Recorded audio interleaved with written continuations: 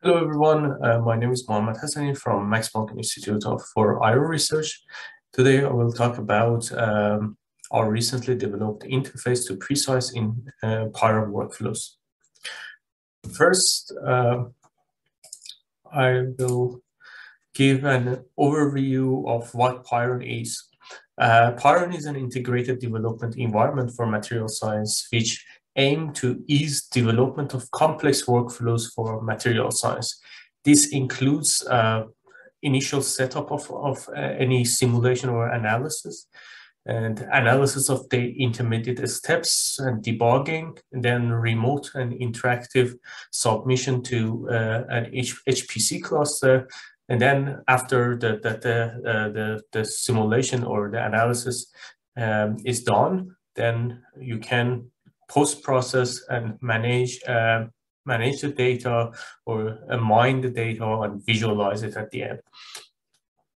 Uh, additionally, pyiron um, provides a high-level unified language for multiple simulation tools. So basically, with one common language, you can create um, jobs, this uh, different simulation, simulation or analysis basically you you write uh, a similar um, uh, kind of um, code snippets and um, it can run underneath a molecular dynamic simulation or a DFT calculation of, um, VASP.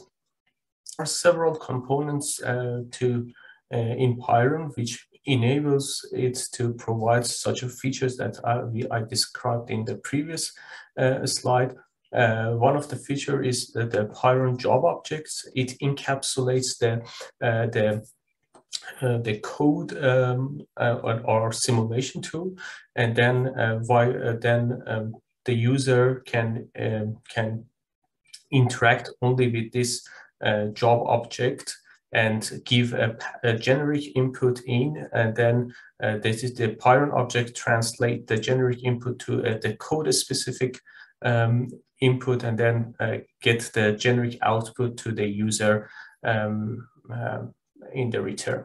Of course, there is a, a refactoring of this uh, um, uh, the, our simulation tool in in this pyiron object and then at the end of the simulation, uh, the metadata is, the, is stored in the in a central SQL database, and the data itself is stored in the job HDF5 file.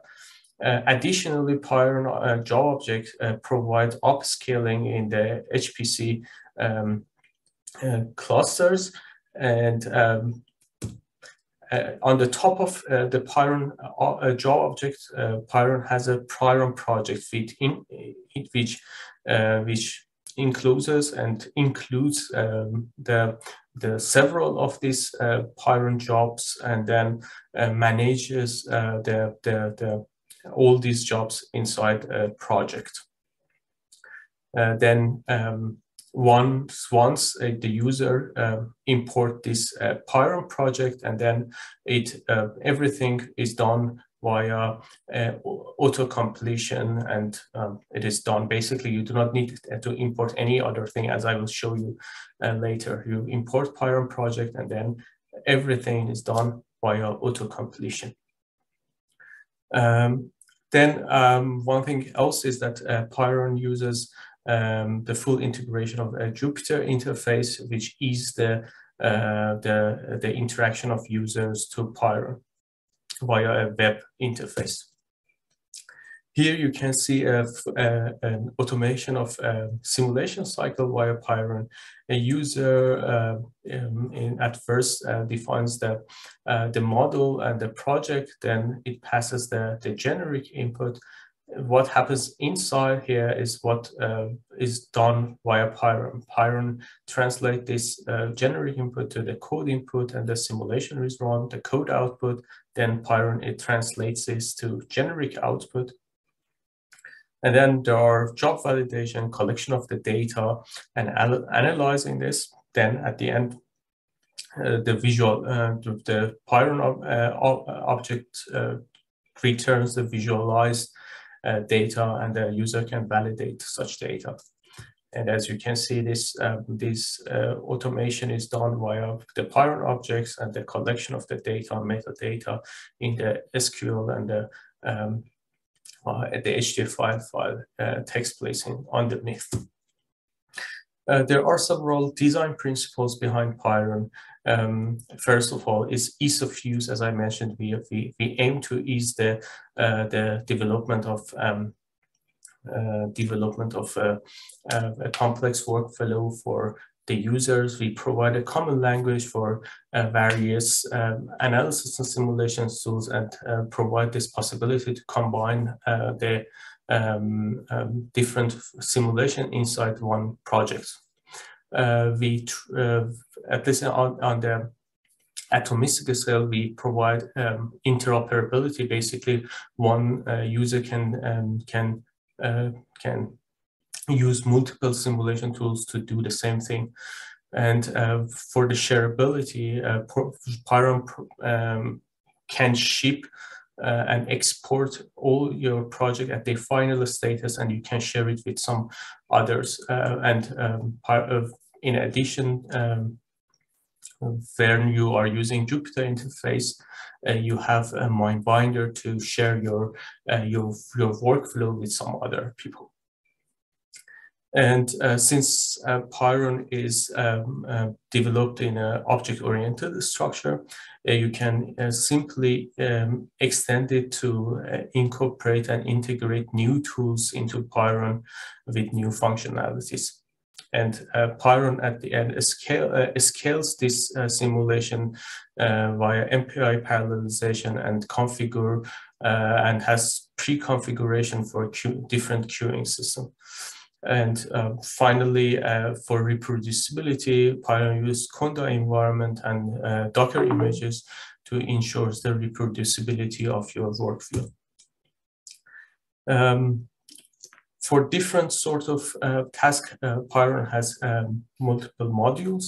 Uh, first of all is a pyiron base, which has the core workflow management and the core components of pyiron included um, and then we have the pyiron Atomistics, which has the wrapper for uh, multiple atomistic um, jobs, for example, LAMMPS, Sphinx, GPAW, VASP, and others. Um,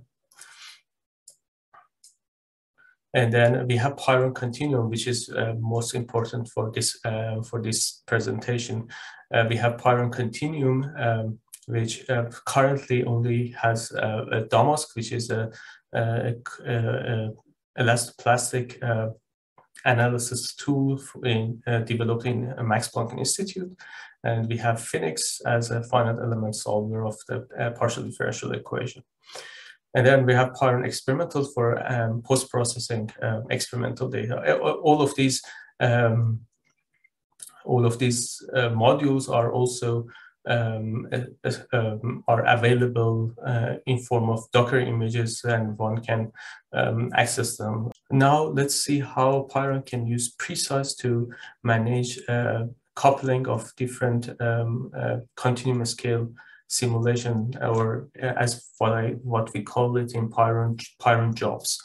Um, when we have uh, um, non-coupled simulations, we have um, pyiron job one, two, three, uh, to till n, uh, accepting some input and providing the output, which is stored in the HDF5 files of each of these jobs. But when we want to couple some of them, you um, what we have um, done is that you can uh, pass an, um, an adapter configuration to these pyiron jobs. For example, you can define a, uh, an adapter configuration for uh, job one and adapter configuration job two, and then pass these two job objects to a, another job, which is called preCICE. We have a preCICE job, and then this preCICE jobs at the end uh, run uh, these uh, jobs in parallel, and by running them, the, the output of these uh, these jobs are stored in the in the HDF5 file, and then the, their metadata is also uh, stored in the uh, in our SQL database. By this point, let's go to our um, interactive session. You can use the, the these uh, links to, to, to get to a, a web interface uh, and a Jupyter environment to run our, uh, our first FEniCS preCICE example. Now uh, we are in the uh, in a uh, I copied the link that was in the presentation into my browser and um, it uh, provides me a, a Jupyter interface on the cloud and you can uh, basically run uh, our given um, preCICE example and which runs uh, two uh, coupled uh, FEniCS example underneath. The, exam the example is from the preCICE tutorials where we have a Dirichlet partition and a Neumann partition that which uh, in all in both of them we solve heat um, heat transfer equation uh, but uh, in the middle we have a coupled uh, uh boundaries where in one of them the flux is transferred and in the other the, the value of the temperature is given for the Dirichlet boundary. As I mentioned, uh, for pyiron, you need to only import project and everything else is uh, done um, um, via auto-completion. So first of all, I, I, create a project object. I remove all the uh, the job. If you normally you do um, you do it several times, um, um, it does not uh, run the, the, the, already done calculation. So re you remove the extra job um, first we, uh, we need to create a job as um, I, I, mentioned I want to try this uh, auto completion. Um, it's just you you just need to you, you want to create a job. You go to pre-R create job, then you have the FEniCS Thomas or FEniCS linear elasticity. We want the FEniCS job. You pass in the name one of the good features of pyiron is that you uh, you you have a, um, a, by pressing Shift and Tab you get the the doc string of the uh, the code itself. You need the job name only. If you you can say you need the job name, and I put it FEniCS Dirichlet as the name, and then I created this jo job. We don't need this again.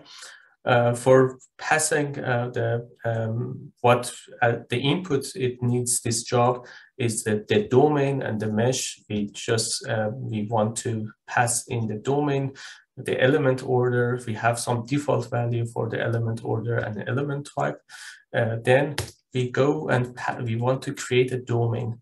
Um, I want to show you how uh, this auto-completion works, we have the job D for the Dirichlet domain, and then we want to create the mesh. Uh, we use the regular rectangle uh, mesh, um, which is uh, provided by FEniCS example. We have refactored this into our code. Uh, if you just, you can simply use similar syntaxes as um, FEniCS we have the two points and then the number of x discretization and ny discretization and diagonal left. And then simply the, the job, uh, the mesh is created. Then you can access the, the mesh, um, uh, the mesh object. Simply you can, um, you can define the subdomain. One of the good features of um, having this Jupyter interface is that we, we have the, the, the Docker string, as I mentioned here, and the auto completion uh, very nicely integrated here. Then uh, we created the subdomain and then we passed, uh, we created the, the, the, boundary condition of type Dirichlet for this uh, given subdomain. And then we passed this, um, the, the analytical expression for uh, this subdomain this provides us the this non-coupled uh, boundaries at the, the border of this um, these uh, uh, these rectangles of this each of the subdomain. then uh, we um, we define the uh, not uh, coupled boundary and then we give this, we see that we have a dictionary of the subdomain with the given names. Then we define the, the, the, uh, the PDE, the, the, the, you see that the, we have a dictionary of the, the inputs, the, the, the initial value for uh, DT, which then will be uh, modified by the preCICE um, advancement of the. Now we want to define the initial condition. Let's see how the auto-completion can help us to define the uh, job. Uh, we use the, the sub uh, the solver attribute of the, the job and then use the auto-completion. We, we want to set the, the initial condition and see the, the um, this is the way that you want to, uh, to define it. Uh, basically, we want to interpolate some some expression, some analytical expression. Um, I will copy this from the line below and then run it. This it's not necessary. Then we uh, this UN, which is uh, represent as displayed here, represent our uh, the the initial value and the initial condition. We'll rename it to temperature, and then we want to uh, to uh, define the source term based on the uh, based on the analytical expression uh, we, we see the type of this is uh, some uh, function space, uh, some coefficient uh, from FEniCS solver. Then we, we want to define the equation. We use, um, we, we, uh, we have a parser for the, the normal nomenclature of the, the, the FEniCS um, so, equations. And then we, we give, we receive some, some string for the equation and then interpret it underneath in our um, uh, uh, under in our FEniCS job. And now we want to define the uh, define the uh, the adapter configuration. I have a typo here as well. Um, let me fix this. The interesting thing about um, Jupyter notebooks and the, the pyiron workflows is that you can document your workflows and then share it uh, as you saw in um, in uh, in our um, this repository. You, if I go to uh, the repository that hosts this uh, this workshop material, is that um, you can um, share the MyBinder link and you I mean basically alongside your workflow you you can share the MyBinder link and then someone can repeat uh, your uh, your workflow alongside your publication. Um, so um, let's back go back to the our workflow. This was a short parenthesis open. I want to see how one can can I uh, define the uh, the adapter configuration. This, as I mentioned, I want to in first initialize the adapt, uh, adapter configuration. Let's see what it um, it tells us. Um, I will not go through the details. Basically, you, you need to initialize this, um, uh, this adapter uh, and giving the, uh, the configuration JSON file and then uh, the coupling subdomain name and then the, some write object and then uh, by default it gets the uh, the fu read function space um, um, from the from the write object. So let's um, initialize our adapter configuration. And then um, by, uh, from the adapter configuration, we have some predefined coupling. And here we, we are using um. Uh, from the Dirichlet, um, we need to uh, calculate the flux in the direction x and pass it to uh, pass it to the uh, to the Neumann uh, part. So uh, maybe the the uh, the naming of the coupling type should uh, be changed in the future. But um, uh, what I mean is here is that the, the from the Dirichlet uh, domain subdomain you you you pass it to the FEniCS from to the Neumann partition. So we we define the predefined coupling scheme. similarly, for the Neumann partition, we do the same thing. We define the the job, the the subdomain uh, and subdomain mesh, the the, the time um, step, uh, the initial condition and everything, the the equation, the the source term, everything. Um, then we uh, define the adapter configuration similar to the, this case, and now here we we want to pass the temperature from the Neumann uh, uh, Neumann uh, partition to the to the uh, to the other uh, part. Now we we want uh, to pass these two files to two jobs to the to our preCICE job. So first we we create a um, similar to the FEniCS job that uh, we have this job uh, P stands for preCICE and then we PR create and then um, we go for the job and then we want to create a job. We we, we look for the this uh, sort of job that we have. We want the preCICE and we give the name um, as the job name here is the um, I will use this I use the name preCICE parent job basically. Okay we create this uh, job and we append uh, the, the child list. I mean, the child list represent the, the jobs which um, this uh, preCICE job should run in parallel.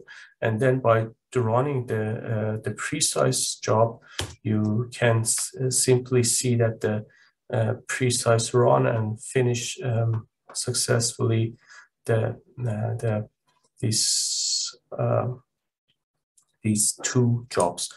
Then you can see that uh, pyiron stored the metadata of the jobs um, inside the um, what sort of the, what sort of um, jobs they are, what sort of uh, where they are uh, stored, and uh, things like that.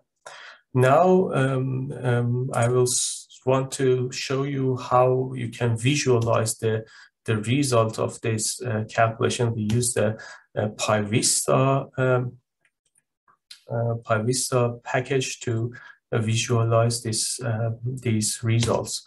First, I read the, uh, the, the last um, results of the, the, the job, um, the Dirichlet subdomain and Neumann subdomain uh, you can see the, the, the content of this mesh object that we have. Then you can plot the temperature for the uh, from the uh, for the these these are some interactive um, they are not I mean uh, there are some and then you can um, plot the uh, the temperature for the um, for the uh, for the Neumann partition. Then you can combine the two uh, meshes and then plot the temperature for the normally they, these are uh, some interactive, uh, but I think in the my binder there are some um, package missing as is shown here. Uh, I have to fix this later on. So th these are normally interactive and you can um, you can interactive listening. Uh, an additional feature is that you can draw a line from here to here and see the the the uh, the diffusion of the term, uh, the uh, the uh, the heat conduction in the in the in these uh, sample by drawing a line and then plotting the. Oh, I forgot to to execute this part and then you see that the the the, the temperature profile on the um, on this line is plotted nice so let's go back to our uh, presentation um, now I want to to talk to you. Let me. I have to swap that presentation. Okay. Um, as I showed uh, that uh, pyiron had um, different modules, you can use Conda um, installer to and um, you on the conda-forge channel you can install different uh, modules from pyiron. Additionally, uh, uh, by by help of our, my uh, colleague Jan Janssen, uh, preCICE and FEniCS adapter for preCICE is also now available on Conda 4 channel from Anaconda Cloud. You can also run pyiron Docker images um, on and um, use the uh, this pyiron module uh, for the documentation. You can use our uh, the tutorials given on our website um, you can see um, uh, you can access the source codes, for example, for the Continuum uh, module uh, from GitHub, and then we have uh, several num number of uh, video tutorials um, on uh, pyiron channel on YouTube. Um, we have workflow templates both on pyiron and Material Digital is the platform that um, use pyiron um, as the workflow manager um, and workflow platform. Uh, so you can also uh, access the pyiron workflow templates from these two repository and then um, simply fork them and use it uh, to your uh, desire. At the end, I would like to thank um, um, pyiron core team and the steering committee, um, my colleagues in MPIE, the, the funding project, the Material Digital, which is a, a large platform for um, for um, connecting the industry, material industry, and uh, academia, um, and NFDI network as well. Uh, these two platform uh, for support um, uh, as funding projects for pyiron. We have uh, collaborators uh, in different um, academic institutes. Um, I would like to thank all of you as well for listening to uh, this presentation and I look forward to your questions and comments.